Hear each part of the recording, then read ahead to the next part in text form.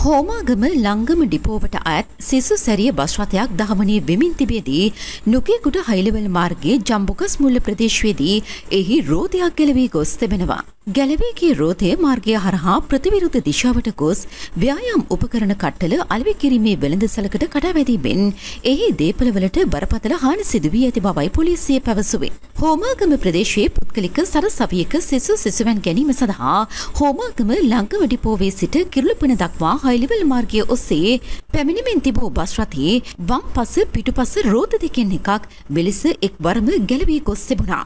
අනතුරුව ඒ මාර්ගය හරහා ගොස් අනතුරු සිදුවී ඇති බවයි පොලිසිය පැවසුවේ.